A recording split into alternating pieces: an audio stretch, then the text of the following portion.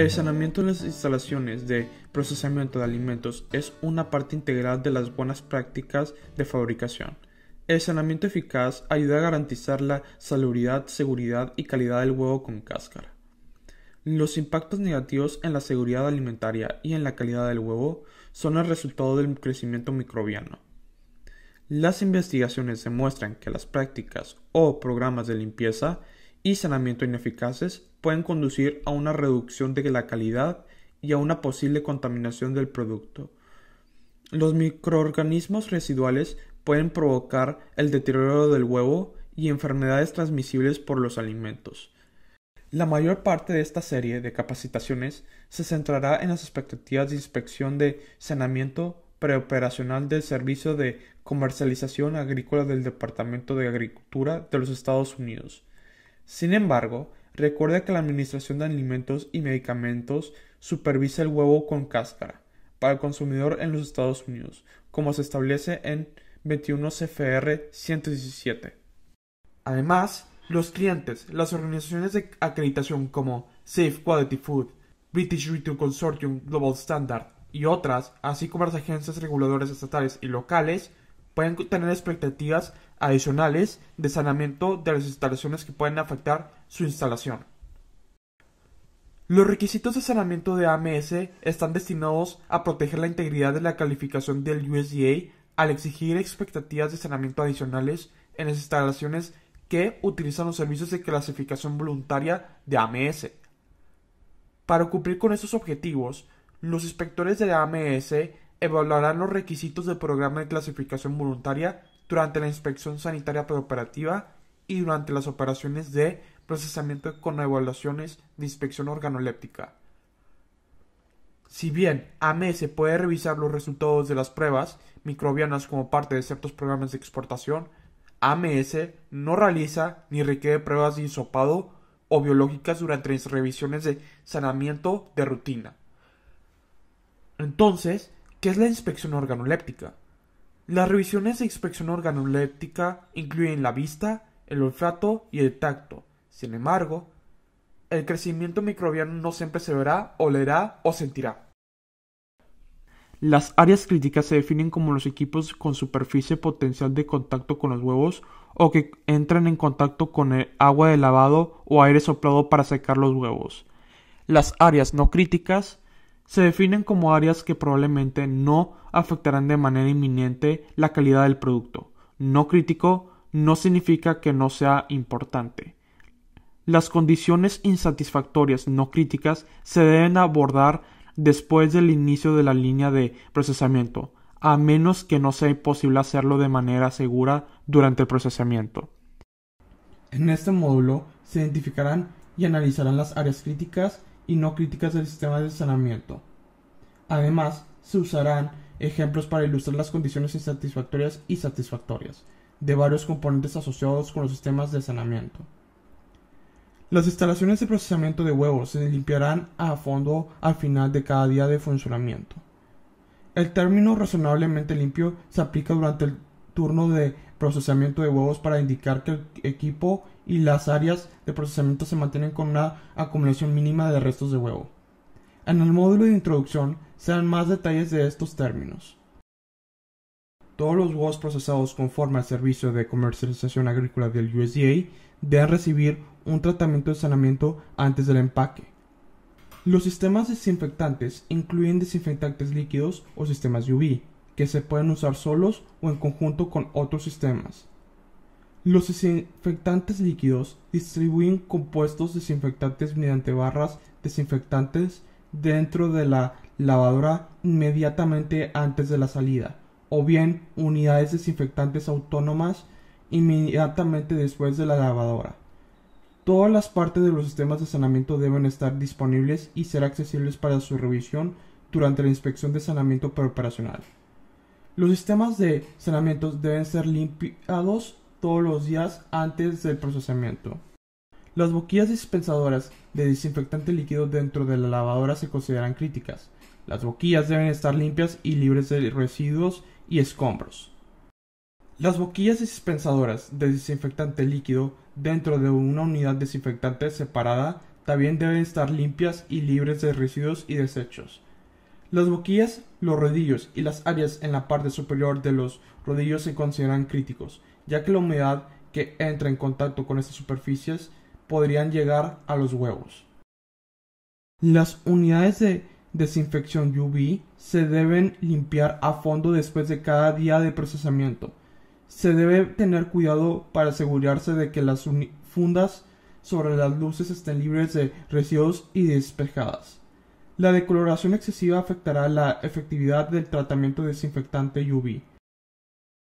AMS se basará en la confirmación de los cambios de focos en los intervalos de tiempo recomendados por el fabricante para verificar la efectividad del sanamiento. La inspección de la unidad de desinfección UV se debe realizar solo cuando la unidad está apagada. Los focos, rodillos y cortinas si están presentes, son el único componente crítico de la unidad de desinfección UV. Al igual que con todos los equipos de procesamiento de huevo, se espera una limpieza diaria exhaustiva. Durante el día de procesamiento, los restos de huevo ubicados dentro o debajo de las unidades de desinfección UV se puede desnaturalizar, lo que dificulta la limpieza. Se debe tener cuidado para asegurarse de que esto se limpie a fondo. Como se mencionó anteriormente, las superficies exteriores, las patas, los soportes, los pies y los conductos asociados con los sistemas de desinfección no se consideran críticos, pero se espera que se limpien a fondo todos los días. Siempre se debe realizar una evaluación de saneamiento antes del inicio de la línea de procesamiento. En los sistemas de lavado que no se fabricaron con un sistema de desinfección interno o que no tienen suficiente espacio para que agregar un sistema de desinfección por separado, es posible que se haya agregado un pequeño compartimento de desinfección a la línea. Dichos sistemas se deben diseñar para garantizar que se pueda realizar una evaluación de limpieza y saneamiento. Las aletas de acceso, los paneles y las tapas se deben de abrir para revisar su limpieza. Los sistemas de desinfección a menudo están separados de las lavadoras por paneles. Cuando evalúe el sistema de desinfección, asegúrese de examinar la tubería exterior y siga la tubería hasta los componentes interiores del sistema. La plomería exterior no sería crítica, mientras que las boquillas y tuberías interiores sí lo serían.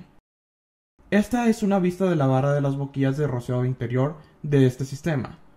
Una inspección más cercana revela que se trata de un hallazgo crítico y satisfactorio. Algunos sistemas de desinfección no tienen un divisor físico dentro de la lavadora. AMS requiere un paso de, desinfección por separado después del lavado. Por lo tanto, dichas boquillas que distribuyen el enjuague desinfectante están ubicadas inmediatamente después de los cepillos. El componente desinfectante dentro de un sistema se puede ubicar si se siguen las tuberías desde el depósito de solución desinfectante hasta las boquillas dispensadoras.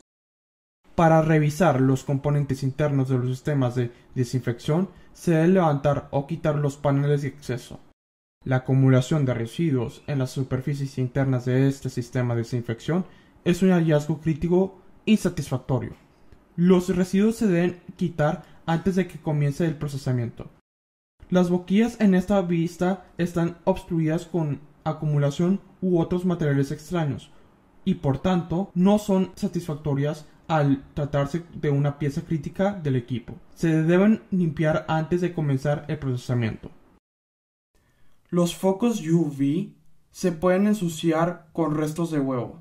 El ejemplo que vemos aquí es un hallazgo insatisfactorio en un componente crítico, si bien las fundas de los focos UV son un componente fundamental, si queda material residual después de intentar la limpieza correctiva y los focos de repuesto no están disponibles de inmediato, se debe establecer un plazo apropiado con el calificador del USDA o supervisor de nivelación para esta corrección. Aquí vemos focos UV que fueron limpiados satisfactoriamente. La presencia ocasional de pequeñas partículas en los casquillos de los focos no sería motivo de, por un resultado insatisfactorio. Los paneles exteriores y la tubería que dan servicio a los sistemas de desinfección no son críticos.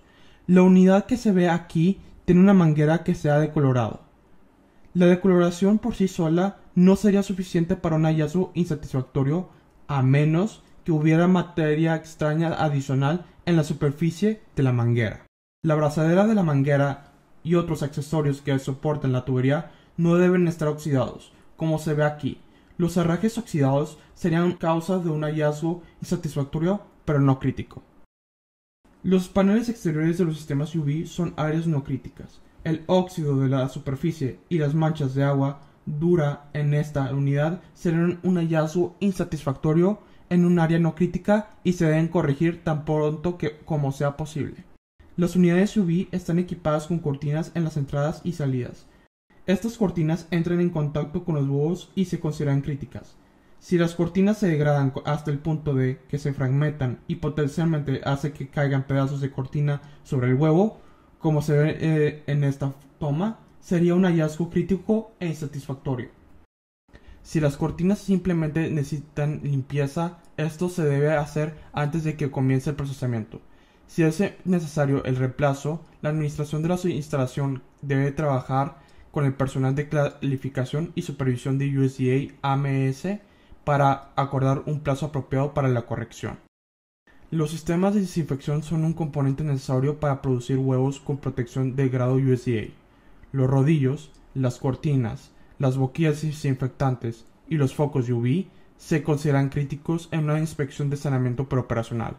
Los componentes no críticos, incluidos los paneles exteriores, la tubería, las abrazaderas, los pies y los conductos, se deben limpiar todos los días.